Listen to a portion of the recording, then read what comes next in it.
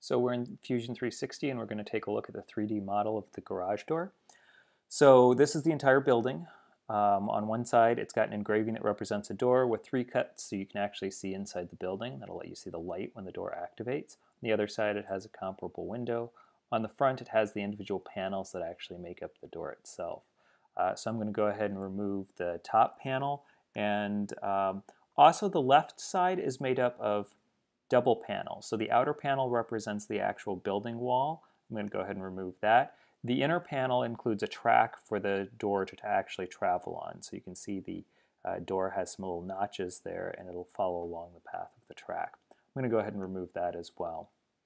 Uh, so inside you can see the mechanical parts of the door. So uh, from the top there is the primary rail uh, so there's a little mechanism will travel up and down the rail, and that's what actually actuates the door. We can see that Fusion 360 is actually modeling one of the um, joints along the rail, so we can push it forward and backwards a little bit. So there's going to be a stepper motor. It's going to turn a gear. The gear will drive a belt that pulls the door forward or backwards as necessary. Um, alongside of that, there's also another little track that will have some switches mounted on it. Uh, the switches will be used to detect when the door is all the way forward or backwards.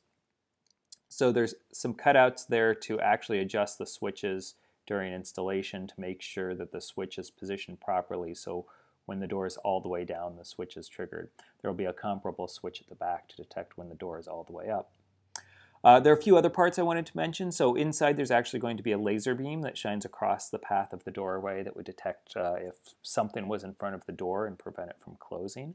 Uh, there's a mount for that over on one wall and there's a, a, corresponding cutout on the other wall that will be used to hold the detector. Okay, uh, so that's the basics of the, the mechanism that's inside the garage.